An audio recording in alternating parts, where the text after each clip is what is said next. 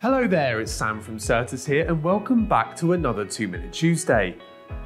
Now that I've covered off the vast majority of our products in previous 2 Minute Tuesdays, production series videos, and shorts, it's time to have a look at some of the FAQs we receive here at Sertus from contractors.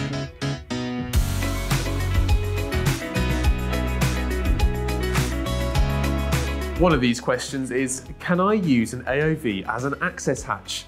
Before I tell you the answer, I just want to draw your attention to a product which may help you with this issue. This is the Sertus Roof Access Hatch Residential.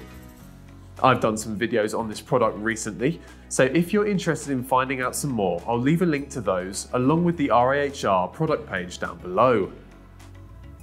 And finally, if it is AOVs you're after, I'll leave a link to our product page below where you can see a wide array of Sertus products.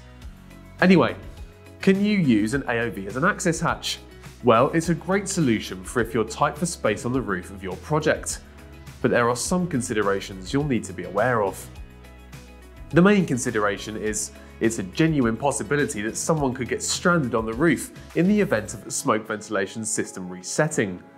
With this in mind, you'll need to add an access key switch to the smoke ventilation control system to allow the access hatch to open.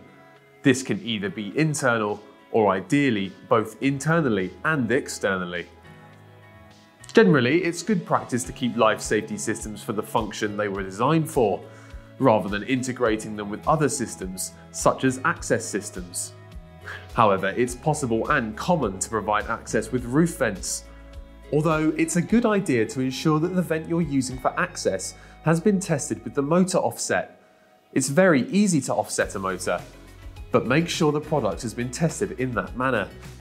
This is because you don't want to do anything that would void the declaration of performance. I hope that's cleared up your question, and as always, if there's anything our friendly team can do to help, please do give us a call or a live chat. I'll leave a link to our contact us page in the description below. Thanks for watching, and I'll see you again very soon.